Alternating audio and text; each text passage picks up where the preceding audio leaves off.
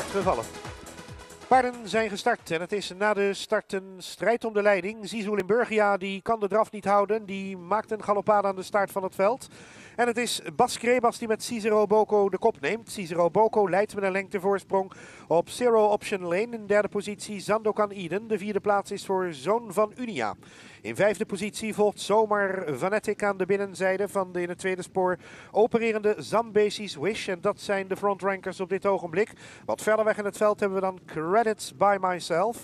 Deelnemers komen dan de rechte lijn voor de tribune in. Dan Zirano Dragon. En Slatan Toscana sluit de rij helemaal los van het veld. Er ligt Zizou Limburgiaan. Die uh, lijkt niet in de juiste draf te kunnen komen. Deelnemers zijn voor de tribunes met aankoop nog altijd Ruud Pols met Zero Option Lane. Die heeft de kop, maar dat zal niet lang duren. Want Frank Westerveld die gaat middels een tussensprint naar voren. En neemt de leiding over met Zando Caniden. De zoon van Ganymede heeft nu 2-3 lengte voorsprong genomen. Vier lengte nu op de tweede plaats. Daarachter volgt dan Zero Option Lane.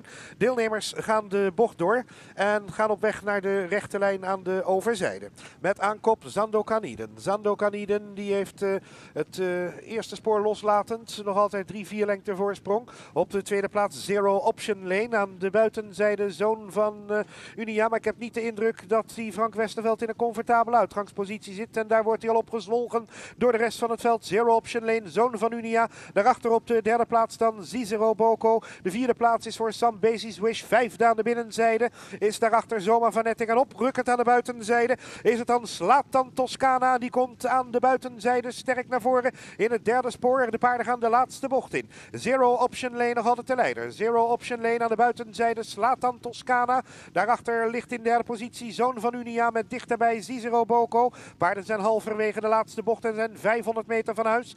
En daar uh, zien we aan de binnenzijde Zero Option Lane galoppade voor Slatan Toscana. Deelnemers gaan de laatste rechte lijn nu indraaien. En het is op kop nog altijd Zero Option Lane. Zero Option Lane, Zizero Boko weer op de tweede plaats. Dan Zoon van Unia als derde. Dat zijn de eerste drie. Aan de buitenzijde komt daar ook nu naar voren Zirano Dragon. Deelnemers in de laatste 200 meter. Zero Option Lane wordt nu aangevallen door Zizero Boko. Zizero Boko neemt de leiding over van Zero Option Lane. Daarachter dan Zoon van Unia met zomaar uh, Vanetic die naar voren komt. En credits by myself aan de binnenzijde. Maar Zizero Boko die wint het hier heel gemakkelijk. Zizero Boko, Zero Option Lane. Close voor de derde plaats. Aan de buitenzijde Zoon van Unia. Of van de binnenzijde credits by myself. Daarachter dan zomaar... Vanetic. En die wordt gevolgd door de overige paarden die weer worden aangevoerd door Zirano Dragon.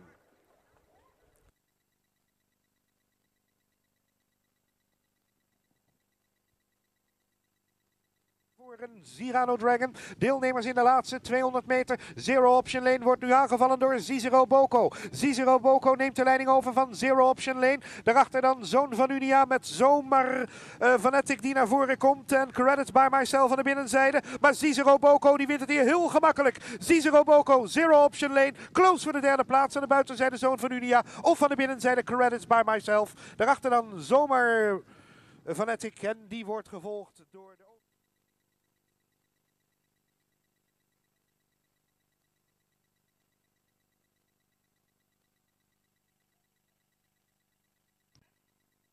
Winnaar staat buiten het onderzoek, dames en heren, Zizero Boko. De winnaar van de Breeders' Crown Z troostafdeling. Driejarige bruine ruin van Yankee Mustang uit Oezer. Gefokt door de Boko Stables in eigendom van Brennels Racing BV. Trainer en rijder Bas Krebas. Kilometertijd 1.18.5 voor Zizero Boko. Felicitaties voor de winnende connecties.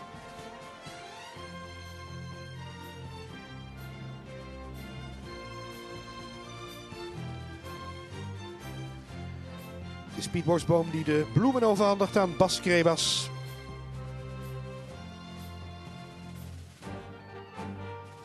Ze gingen rond in 1.18.5.